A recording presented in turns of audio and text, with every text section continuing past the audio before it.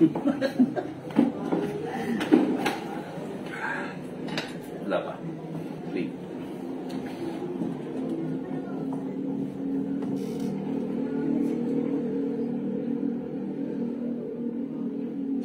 Yan. Yun. Magandang gabi sa bawat isa ngayong Tuesday na na naman na naranasan na naman natin yung kabutihan ng Panginoon sa buong araw na ito. Isa-shout out ko lang po ang nag-celebrate ng birthday today, si Arlene Uson. Happy birthday, Happy birthday, Arlene! Thank you sa pa-blow out mo. Sana all. Thank you sa pabanding kanina. Kani-kanina lang at natutuwa ako na nakasama mo ako, kami ni Tete sa pag-celebrate ng birthday mo. Good evening po ang pagbati namin sa bawat isa ngayong gabi. Kami po ay samahan nyo na mag-aral ng salita ng Diyos kasama si Pastor, ang ating ang ating OIC, ano, ano sa tawag niya sarili niya? Ay CEO. CEO, ang ating CEO ay pagod na pagod dahil sa OJT niya kanina. Alam ko po na kayong lahat ay nag-aabang gabi-gabi kung ano ba ang salita ng Diyos sa araw na ito. Ikaw ba, Daddy, sa ilang taon na tayo naglilingkod sa Panginoon? 37 years. Yeah. What keeps you going? Una-una, yung ah, biyaya ng Panginoon, siyempre. Patuloy nating nararanasan yung biyaya ng Diyos araw-araw. Yung paggising pa lang sa umaga, yung kalakasan, yung yung ah, excitement, yung passion, yung wisdom, galing lahat sa Panginoon. So, talaga mabiyaya ang Diyos. ang ano ko eh, gusto ko ano, bakit ka pa ba nagiging passionate sa sa paglilingkod mo, sa araw-araw na ginawa ng Diyos, araw-araw gumagawa ka ng preaching, pwera pa yung Sunday na preaching mo, ano ba yung, bakit ka na nagiging ganun ka-passionate? Hindi ko rin alam eh. kung bakit. Pero siguro naging part na ng system ng katawan mo na kung saan na parang bahagi na talaga ng routine ng buhay mo. Pero gusto kong ma gusto kong i-share sa bawat isa na masaya ako sa ginagawa ko. Alam ko kasi yung ginagawa ko kalooban ng Diyos. At alam ko, unang-una, nagbibigay ito ng luwalhati sa Panginoon. At kahit pa paano, nakakarinig tayo ng mga testimony. Yun. Sabi nga ni Pastor eh, parang naging sistema na ng buhay niya. Lifestyle. Lifestyle niya. Hindi na to yung mabigat ang paa mo, pagod na pagod ka, hirap na hirap ka. Pero sometimes nakakaranas din ng ganun dahil tao lang. Pero yung hihinto ka para sa ayaw mo na, parang hindi yata yun nasa bukabularyo mo. Siguro pagpatay na ako. Wag naman, wag pa naman, Wag wag pa naman. Ang ang mga bagay na ginawa ni Pablo nung nasa nung sumulat siya sa mga taga Colossae, ang ang mga bagay na iniisip niya eh hindi nakikita, hindi visible kung bakit niya ginagawa ang mga bagay na ito, kung bakit siya patuloy na nagpo-proclaim ng salita ng Diyos, patuloy, napaka-passionate niya, kahit na marami siyang pinagdadaan ng trials, sufferings, napaka-selfless niya. Dahil yung empowerment na nanggagaling sa banal na spirito, yun yung nagbibigay sa kanya ng lakas para ipagpatuloy pa kung ano yung sinimulan niya. At ang iniisip niya, yung mga tao na nasharean niya, ay hindi lang manatili na isang baby Christian, kundi mag-mature sila dahil darating ang panahon. Pagdating pagbabalik muli ng Panginoon dito sa lupa, hindi na siya isang savior, kundi isang judge siya, na kung saan lahat tayo ay haharap sa Panginoon at ipag Susuli. ipagsusulit mo yung mga taong ipinagkatiwala sa Panginoon, sa iyo ng Panginoon. At ito yung driving force ni Pablo na pagdating ng araw na maipresenta niya sa Panginoon na mature yung mga taong na-share niya, na pag-proclaima niya ng gospel. Kaya hindi siya hindi siya natatapos sa i-proclaim lang yung gospel eh. Patuloy siyang ina-admonish niya yung mga tao. Tinuturuan niya. Tapos tinuturuan niya, patuloy niyang tinuturuan. Katulad po ng ginagawa natin gabi-gabi, maaring kayo nagtataka, bakit hindi pa ba sila napapagod? Bakit parang araw-araw, parang yung iba nasasawa na, yung iba parang a-attend, hindi, a-attend, hindi. Pero tuloy-tuloy lang dahil naniniwala kami, nakikiisa kami sa adhikain ni Pablo na darating yung araw na sino man yung na-proclaima natin ay pagpapatuloy natin na in-nurture yung pananampalataya na meron sila. Yung pananampalataya at pananalig sa Panginoon. At in the end, pag pinresent na natin sa Panginoon, they are fully matured sa pananampalataya. Yon, ngayong pong gabi, magpapatuloy tayong muli sa ating pag-aaral ng salita ng Diyos. Nawa, tayong lahat ay kasihan ng banal na Espiritu. Maliban ng Espiritu ng Diyos ang mangusap sa atin, hindi po ito mananatili sa ating isipan at puso. Amen. Manalangin po tayo. Panginoon, marami pong salamat sa another night na pinagkaloob mo po sa amin, Panginoon. Muli, isang gabi na pag-aaral ng salita mo ang ina, in, dinidesire ng puso namin, Panginoon. Ngayong gabi, inaanyayahan po namin ang iyong banal na spirito, ang iyong presensya sa bawat pamilya, sa bawat tahanan na kasama namin ngayong gabi. Alam po namin na ang salita mo ay pwede namin panghawakan at pwede namin panampalatayanan na kung may dalawa o tatlo na natitipon sa iyong pangalan, ikaw ay nasa kal- kalagitnaan. Lord, we acknowledge your presence, Lord, in our midst. Alam po namin, pa- Panginoon, na yung presensya mo ang magbubunsod sa amin na mapakinggan ang salita mo, maisabuhay ang salita mo, at maging buhay sa mga buhay namin, Panginoon. Basbasan mo kaming lahat, O Diyos, at igawad mo ang pagpapala sa lahat ng mga kasama namin ngayong gabi, Panginoon. Ano man ang kanilang mga dinidesire sa puso nila, ikaw po ang magpala nito, Panginoon. At tumugon. Marami pong salamat. Ito po ang aming dalangin sa matamis na pangalan ni Jesus. Amen. Shout out ako kay Nanay Alice na bagong uma-attend sa ating Devo. Nanay Alice, hello po, magandang gabi. Nawa, gabi-gabi namin kayong makasama. Okay. Ah, shout out din kay ah, Mami Lenny Rillera. Yon, si Salamat Mami po Lenny. sa- Salamat sa atsara. Chara. Okay. So, thank you Lord. Paborito ko po yun, Mami Lenny. Salamat hindi nyo kami nakakalimutan. Okay. So, mga kapatid, ah, pwede po bang mag-comment kayo sa comment section kung meron kayong nararamdaman na paglagong spiritual sa inyong buhay habang kayo'y dumadalo nitong devotions na ito. Magsabi lang po kayong praise the Lord. I mag ah, isulat niyo lang po sa comment section, praise the Lord dahil merong ako nararanasang paglago paglagong spiritual dahil sa pagdalo ko dito sa devotions na ito. Yan, thank you po. Okay. Katulad ng nabanggit ni Sister Olive kagabi, ah, kanina,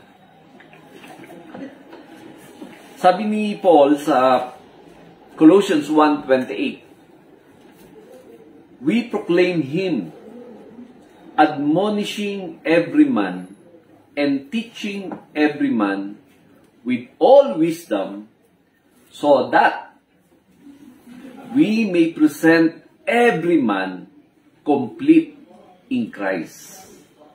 So, kaya pala sila Apostol Pablo ay patuloy na nangangaral, nagtutuwid, nagtuturo kasi meron siyang layunin na yung mga taong tinuturuan niya, mga taong nakakarinig ng kanyang pangangaral, ma-present niya kay Kristo complete or mature in Christ. Hindi po kalooban ng Panginoon na manatili lamang tayong mga baby Christian. Ang layunin ng Diyos sa buhay ng bawat isa sa atin, maging mature believers ang bawat isa. Sapagkat kung hindi po tayo lalagong spiritual, katulad ng isang bata, madali po tayong maaakay sa maling aral. O kaya, maaring dahil sa iyong uh, pagiging immature, ay hindi mo madidiscern kung alin yung kalooban ng Diyos at hindi kalooban ng Diyos. Kaya napakahalaga po talaga na maging layunin natin. Yung bawat isa ay lumagong spiritual. Dahil sabi ko nga sa inyo kanina, hindi po kalooban ng Diyos na manatili lamang tayong mga baby Christian. Gusto ng Panginoon, bawat isa sa atin ay maging complete or mature in Christ. Mag-mature po ang ating pananampalataya sa Panginoon. Sa gabing ito, yung pong pag-uusapan natin mga kapatid, ano ba yung mga hakbang ng isang tao upang maarating niya yung tinatawag na spiritual maturity. So ang aking pong topic ay tungkol sa towards Christian maturity. No? Kailangan makarating tayo dun sa tinatawag na Christian maturity. Mag-mature yung ating pagiging isang Kristiyano. Pero siguro marahil yung iba sa inyo na nagtatanong, Pastor, ano ba yung mga hakbang na dapat kong gawin kung gusto kong lumagong spiritual? Sasabihin ko po sa inyo mula sa banal na kasulatan. So buksan po ninyo ang inyong mga banal na kasulatan sa Colossians chapter 2 verse 6 hanggang verse 7. Dalawang talata po yung pagbubulay-bulayan natin sa gabing ito. Colossians 2, 6 and 7. Therefore, as you have received Christ, Jesus the Lord, so walk in Him, having been firmly rooted, and now being built up in Him, and established in your faith, just as you were instructed, and overflowing with gratitude. Pagpalain po ng Diyos yung kanyang mga salita. So dito makikita natin mga kapatid, si Apostol Pablo, bagamat hindi pa siya talaga nakakarating ng Colossae, pero ninanais niya yung mga mananampalataya sa Colossae ay maranasan yung tinatawag na spiritual maturity or Christian maturity. Kaya nga, dito sa text na ito, bagamat dalawang talata lamang po, pero in, in-enumerate niya yung ilang hakbang upang maranasan ng isang tao ang spiritual maturity. Okay? So ano ba yung unang hakbang, mga kapatid? Ang unang hakbang, mga kapatid, Una, we receive Him as the Christ, the Lord. Sabi sa verse 6, Therefore, as you have received Christ Jesus, the Lord, ang assumption po ni Apostol Pablo rito, yung mga saints and brethren in Christ in Colossae, nakapagpasya na po sila sa kanilang sarili. Na kung saan, tinanggap na nila si Jesus bilang ang Kristo at ang Panginoon. Okay? We must receive Him as the Christ, the Lord. Alam nyo, hindi po mahalaga kung kailan nyo tinanggap ang Panginoon at paano nyo tinanggap. Ang mahalaga rito, sino ang inyong tinanggap. Maring yung iba sa inyo, nung tumanggap sa Panginoon ay medyo may edad na.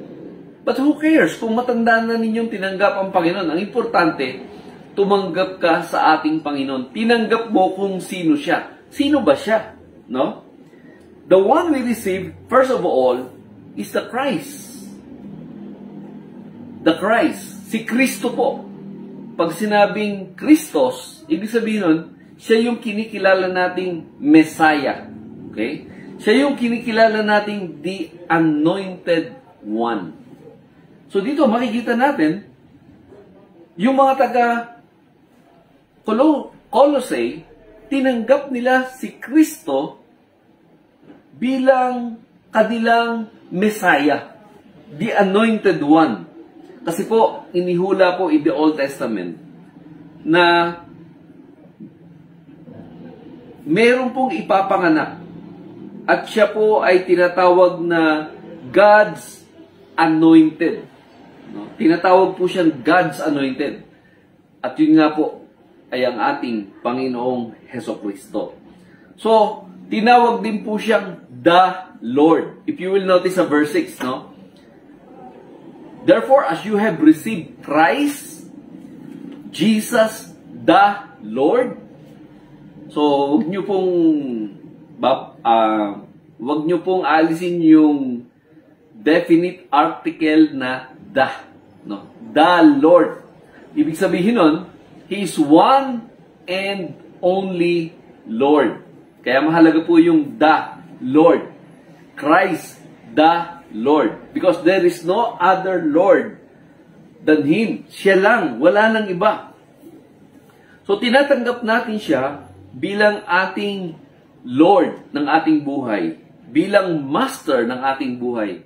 Bilang Panginoon ng ating buhay. So yun po yung una hakbang mga kapatid kailangan tanggapin mo si Heso Kristo bilang iyong Panginoon, bilang iyong Kristo, bilang iyong Messiah, bilang iyong tagapagligtas.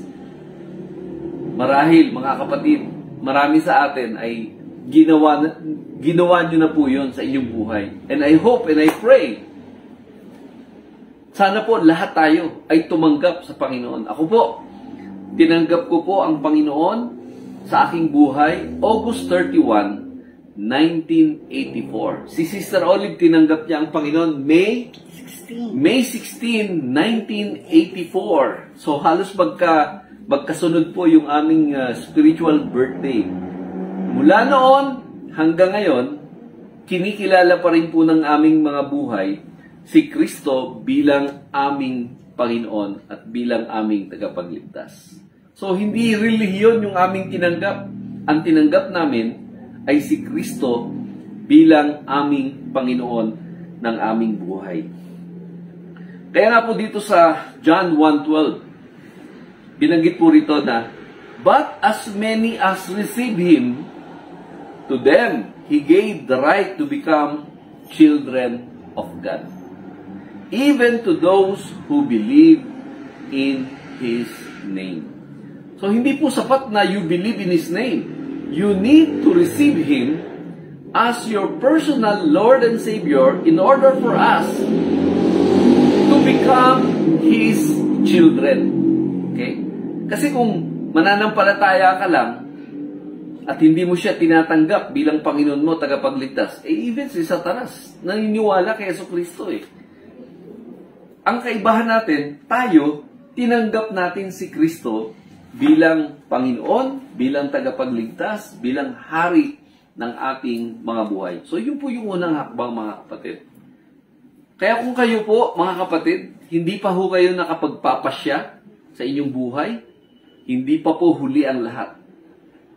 Maaari nyo pang tanggapin ng Panginoon. May pagkakataon pa kayo na magsuko ng inyong buhay sa ating Panginoon. Maaari pong ngayong gabi, magdesisyon kayo na, oo nga Lord, pagod na ako sa buhay ko. Ayoko nang ako na mag ayoko nang ako nagmamaneho ng buhay ko. Lord, pwede bang ikaw na maging driver ng buhay ko? I-guide mo ako, dalin mo ako kung saan mo ako gustong dalin. Alam niyo, pag hindi pa ho kayo dumarating sa ganung punto ng buhay niyo, ay medyo you miss a lot. Kasi yun po yung unang hakbang. Okay?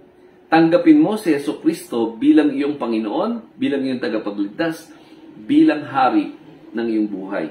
Pangalawa, So, natanggap mo na. Assuming tinanggap mo na si Kristo.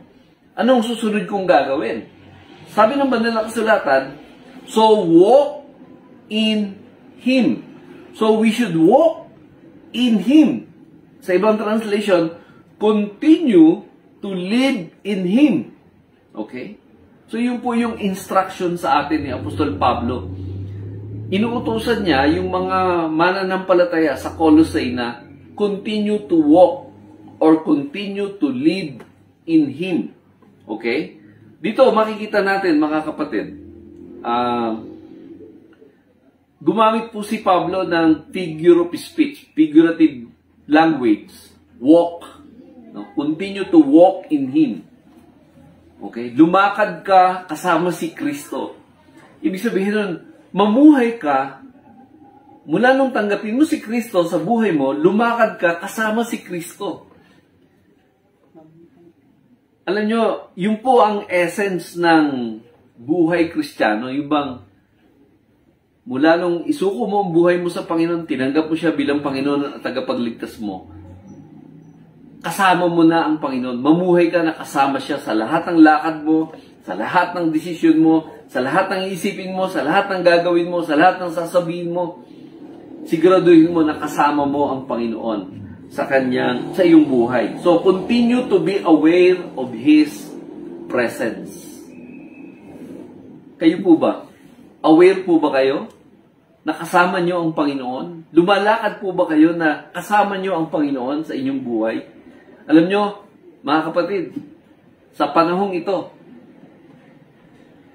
siya lang po ang makapagbibigay sa atin ng kalakasan, kaaliwan.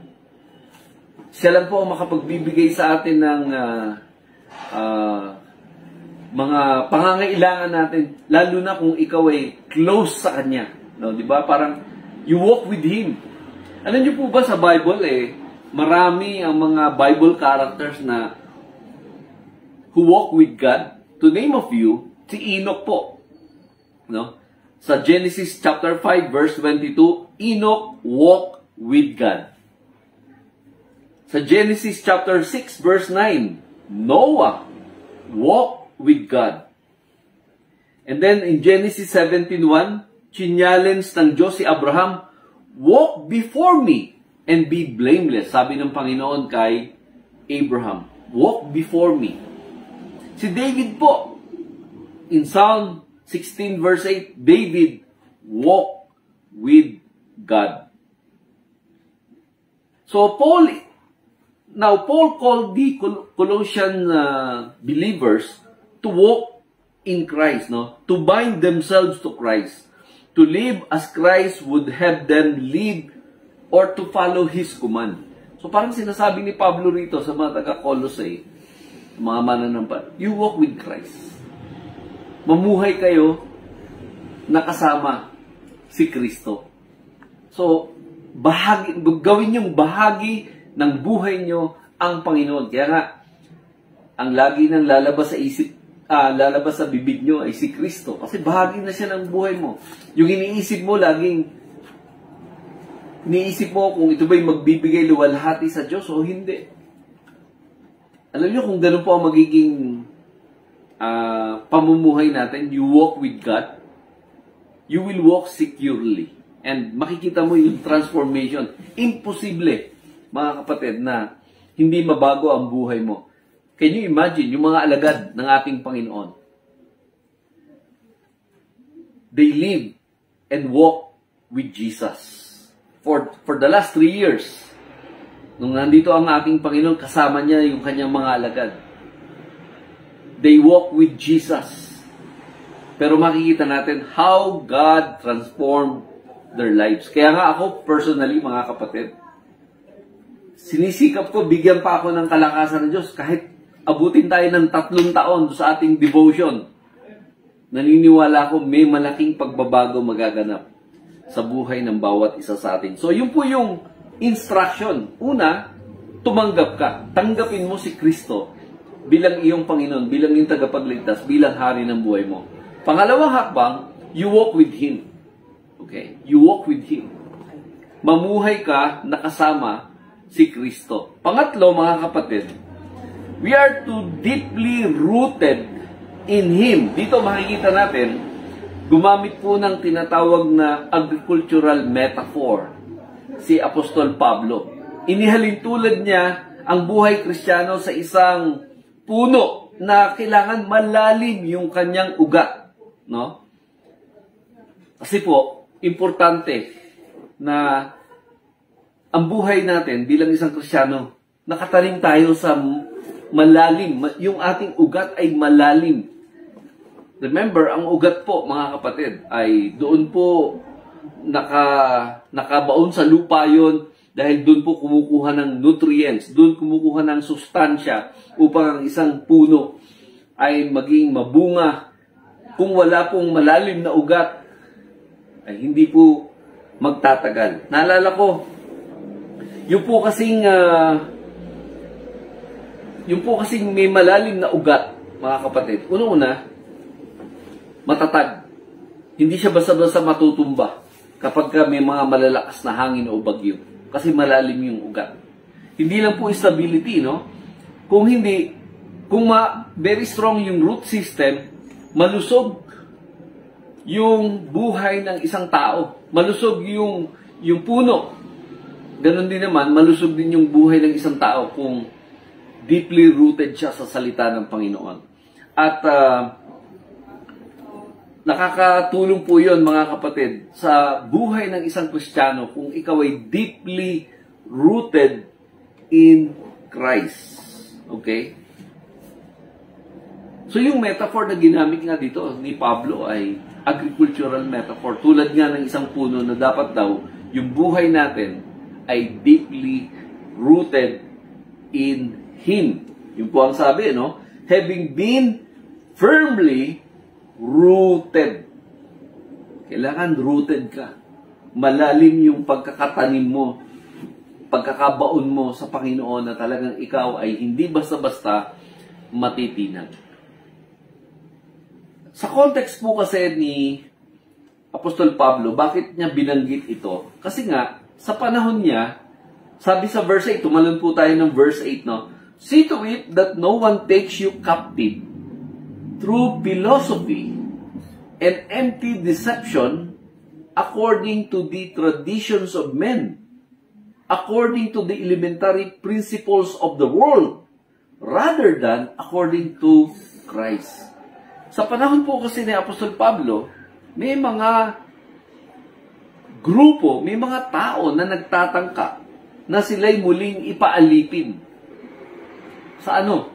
Sa mga philosophy and empty deception ng ating kalaban according to the traditions of men. Eh sabi ni Pablo, naging malaya na tayo dyan eh.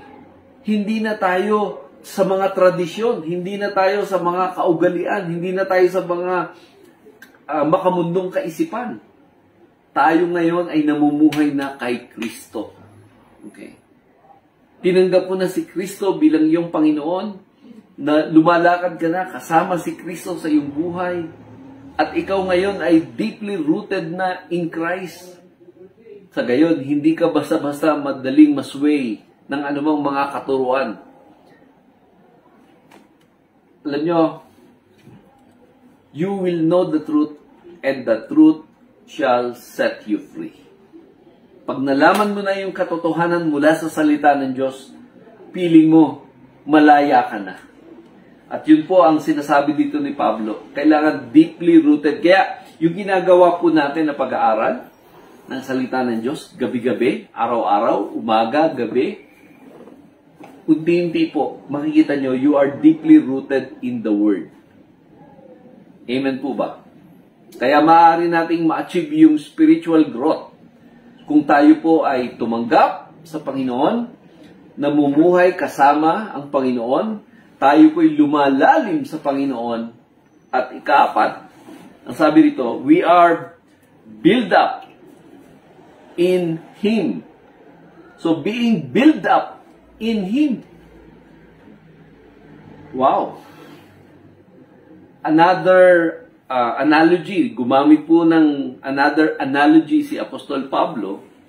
Ito naman, kung kanina agricultural metaphor, ito naman, mga kapatid, ang tawag dito ay architectural metaphor. Inihalin tulad niya yung ating kaugnayan sa Panginoon sa building architecture wherein sa construction ng bahay, for example, napakahalaga nung meron kang matatag na pundasyon upang yung bahay mo ay hindi basta-basta masisira at matitinag.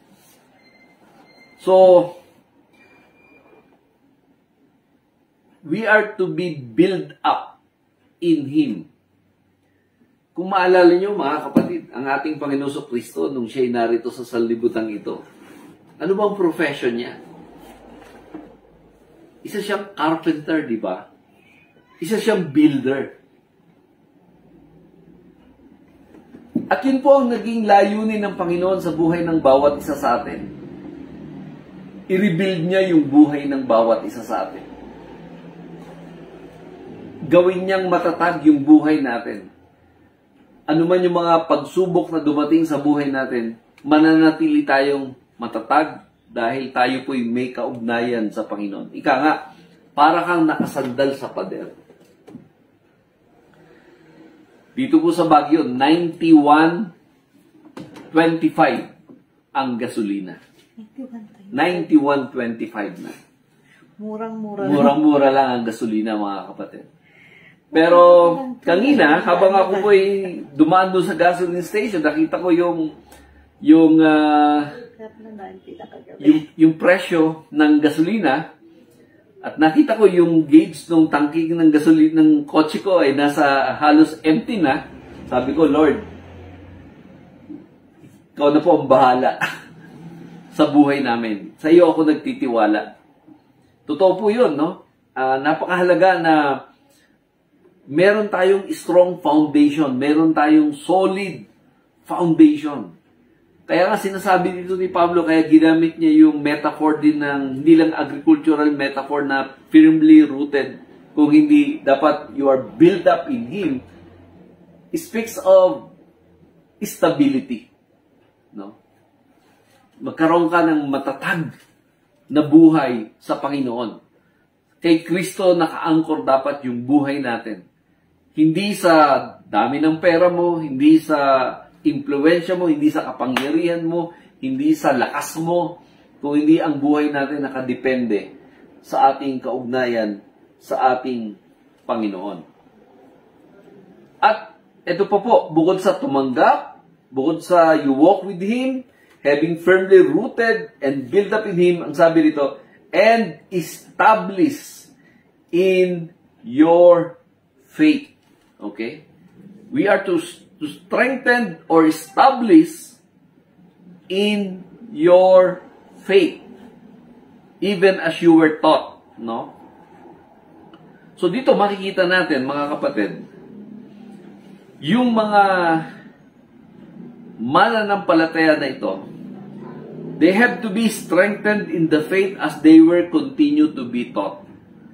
Kaya nga importante yung tuloy-tuloy, yung strengthening tuloy-tuloy yung establishment ng buhay natin. Ibig sabihin nito, mga kapatid, huwag kang huminto. Huwag kang, huwag kang bumitaw.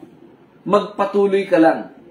Maring sa sa gabing ito, o ilang gabi ka nang nanonood, o ilang linggo na, ilang buwan na, o maybe taon ka nang uma-attend ditong devotions na ito, sabi mo, meron bang paglago na nangyayari sa buhay ko? Parang sinasabi ng banal na kasulatan, huwag ka lang bumitaw. May ginagawa ang Panginoon sa buhay mo. Meron siyang binabago sa buhay mo. Alam niyo mga kapatid, um, minsan gusto nating magbago yung ating asawa, magbago yung ating mga anak. Pero sabi ni Lord, anak, um, hindi yung asawa mo ang una kong gustong baguhin eh. Hindi yung as, hindi yung anak mo ang gusto kong baguhin. Ang gusto kong baguhin, ikaw muna. Kung minsan mga kapatid, gusto natin mabago kaagad eh. Yung ating pamilya. Pero hindi eh. Yung pagbabago ko magsisimula sa bawat isa sa atin. Ikaw muna yung magbago. Ikaw muna yung tumanggap sa Panginoon. Ikaw muna yung mamuhay kasama si Jesus. Ikaw muna yung lumalim sa pananampalataya sa Panginoon. Ikaw muna yung ma-build up sa Panginoon. At ikaw muna yung may strengthen yung faith mo.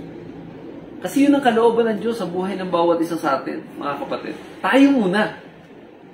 At madali na po nating mahihikayat yung ating buong sambahayan, yung ating buong pamilya, kung tayo muna ang magbabago sa ating mga buhay. Kaya, kung tinanggap nyo na ang Panginoon, at nagsimula na kayong lumakad kasama siya, tapos unti-unti lumalalim na yung inyong pananampalataya sa Panginoon, unti-unti nang nabibuild up yung yung yung faith and confidence nyo sa Panginoon at na na-strengthen na yung faith nyo. Unti-unti nararamna, nararanasan nyo na yung mga biyaya at pagpapala sa iyong buhay. Alam nyo kung anong dapat na natin maging tugon? Magpasalamat ka sa Diyos.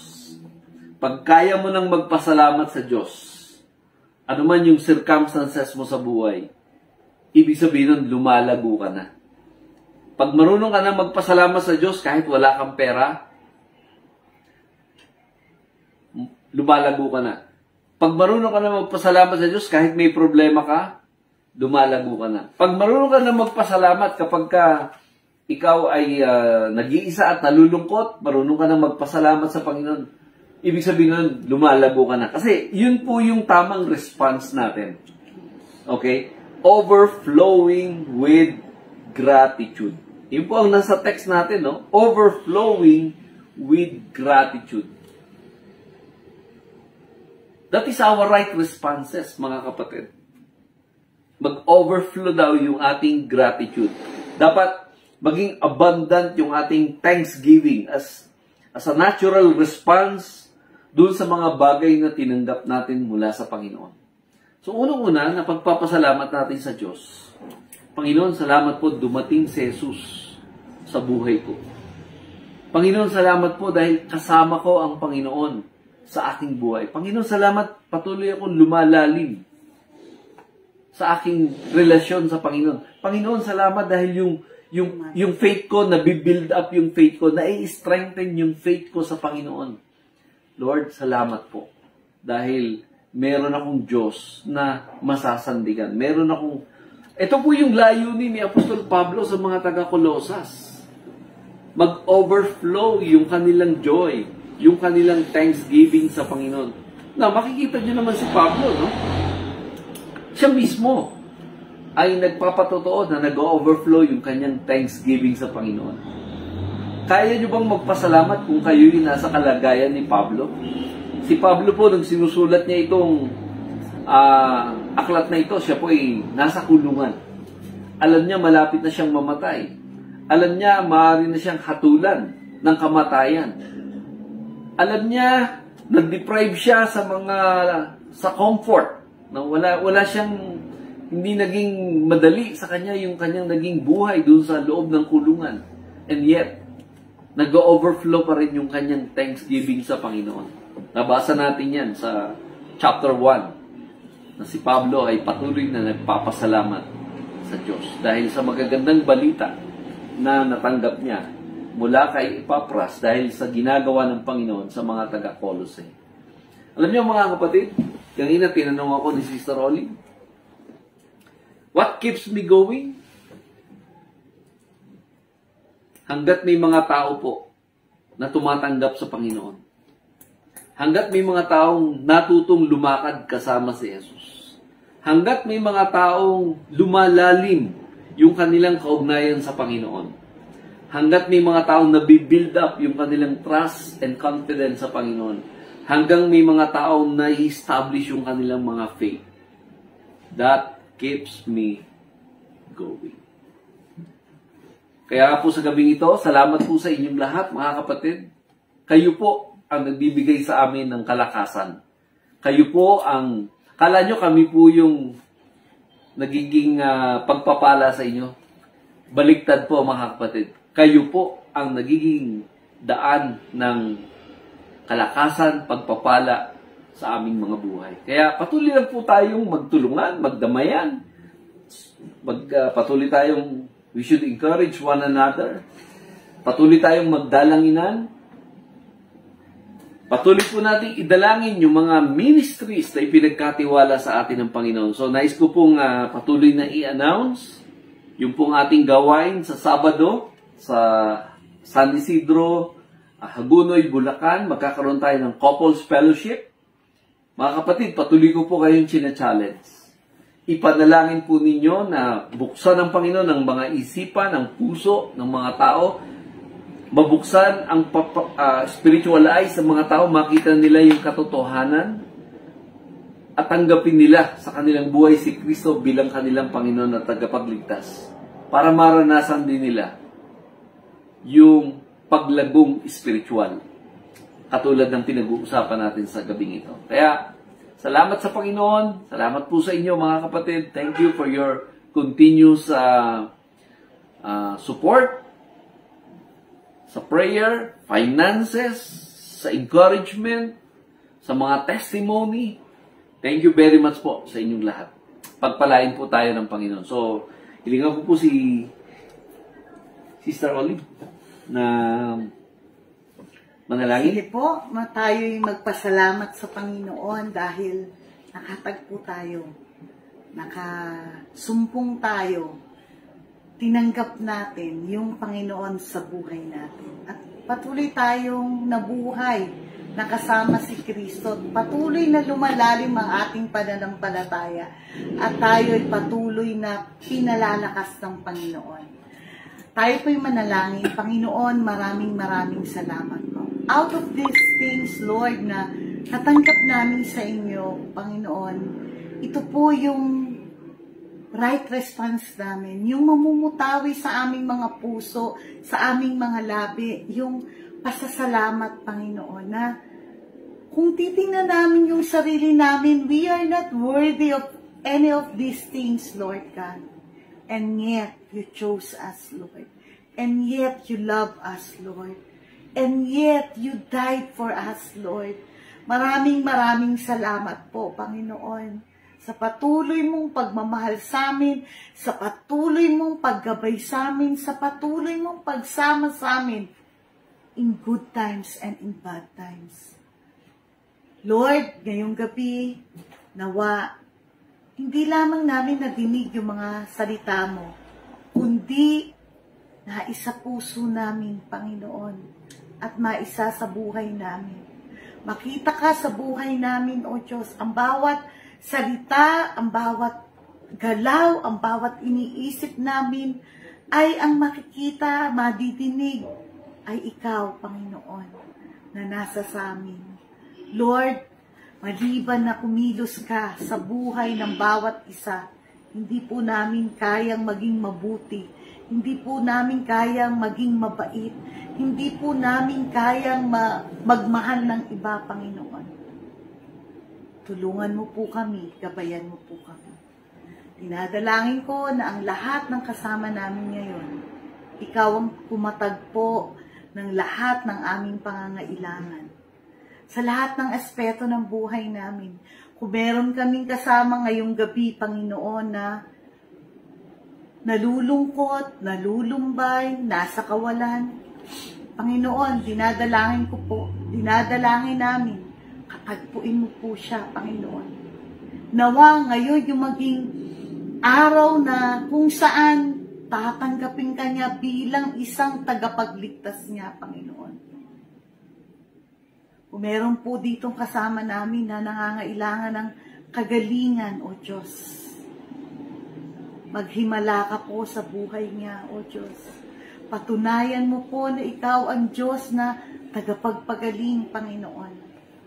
O may mga kasama kami dito na nawawala na ng pag-asa dahil wala silang masandigan, wala, nasa kawalan sila, walang pera, walang makain, walang trabaho. Panginoon, nung nilikha mo po kami, isinama mo lahat, Panginoon, yung pangangailangan namin, O Diyos kung mga ibon sa parang, O Lord, hindi mo sila pinapabayaan. How much more, Lord, ang bawat isa sa amin na nilikha mo above them, Lord. Yes. Maraming salamat, O Diyos. Maraming salamat. Lord, ang lahat po, O Diyos, ngayong gabi, dalangin ko ang iyong pagpapala, ang iyong presensya, ang mapasaming lahat.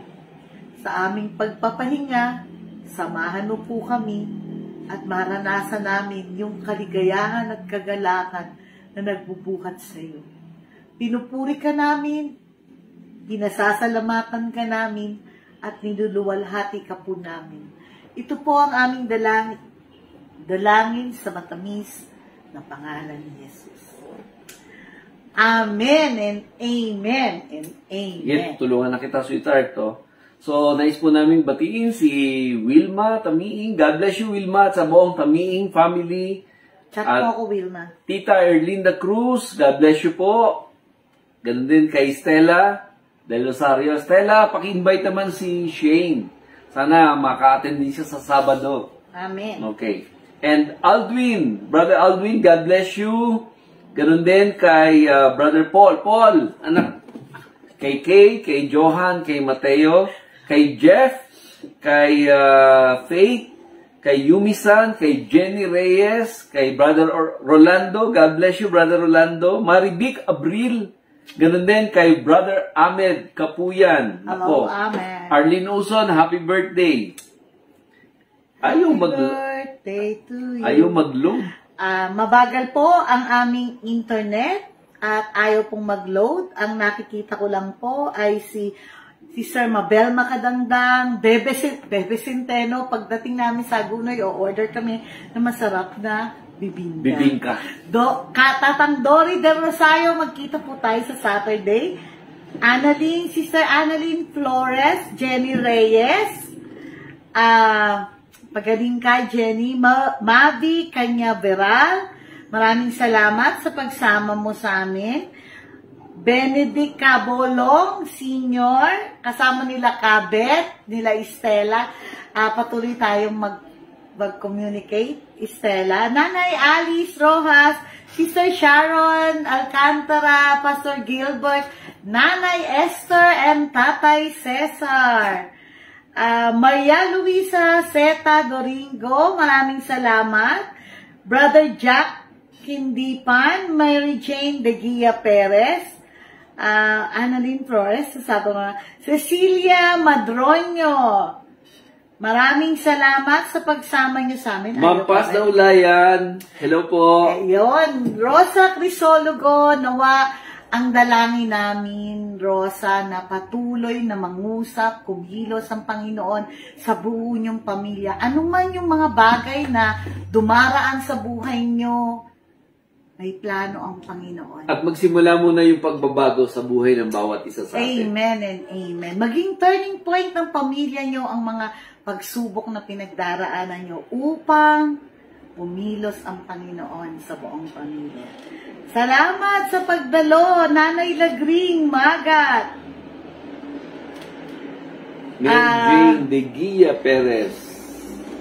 Nico Cuervo, kasama si Aya at saka si Kim, Sister Emma de la Cruz, Sister Glenda Martin, Ate Evelyn, Ate Feli, Kuya Obet, ah, Judith del Rosario kasama si Pastor June, si Nina at saka si Nella.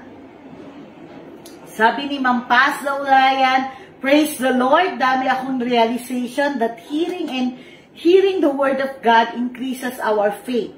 So, with our every night devotion, dami akong natututunan for being a matured Christian. Thank you, Lord, talaga. Purihin po Amen. God bless po. Ate Tess Del Rosario. Jen Tiglao, Ma'am Erlinda Cruz, Darwin Centeno. And Maylin, Kuya Ray Gonzales, Melody Lanusa, Lord, praise the Lord. Mami Josepa Kulanay, Jesusa Kulanay, hello. Yung mga nag-praise the Lord, sila daw po yung mga may natututunan gabi-gabi sa atin. Tito Ben, Tita Judy. Hello, Hello, po. po. Mami Lenny Riliera, Suset and Painado. Suset, magkikita tayo at tutulungan nyo kami. Magsiset up tayo. Ah, Pastor Dindo. Pastor Dindo Cuervo. Ate Feli. O, sa Crisolo ko. Araceli. Darisan from London. Yan, nasa London na yata. Wow! Ah, Ano? Brother Aldwin. Ayaw mag-load eh. Ito to, try natin. Si Nanay Lolita Rimas. Hello po, Nanay Lolita. Ah, Arian Jane. Ayan. Ah, Jen Tiglao. Tatandori. Shoning Poseido. Ah, Ani Bonifacio. Welcome po sa Ani ating Bonifacio. 8 o'clock. Kuya Jerry. Kuya Jerry, may message ako sa'yo. Mm. Melody Lanusa. Derek Talyara. Janice, Ret Ret and Rot Rot, Kanet Panganiban and Kaboy Panganiban. Jubes Lopez. Makita po tayo, Kanet. Mabel Ah, Makadangdang. Sasagwan. Chengay Nes. Rochelle. Kuya Bobby Gonzales. Hello po, Ate Percy. Sige po, ang ating... Kusta Jan. Hello. Ate Flora Rebuka. Ate ah Andy, Shasha, and Zai. Ellen Ong. Ayan, Hello si Ellen po, Ong. Sister Ellen. Nerissa Aduca. Hello, Brother June. And sa mga hindi po namin, mga YouTubers natin, sa mga hindi po namin natawag na shout out, pagpaumanhin po at ah, dalawang araw na pong mahina ang aming Internet. Nagbayad na ba tayo? Hello, Carl. Nagtayo na ba tayo? Maraming maraming salamat po and don't forget to share, like, follow, and subscribe. God bless Good evening po. night. God willing, see you tomorrow.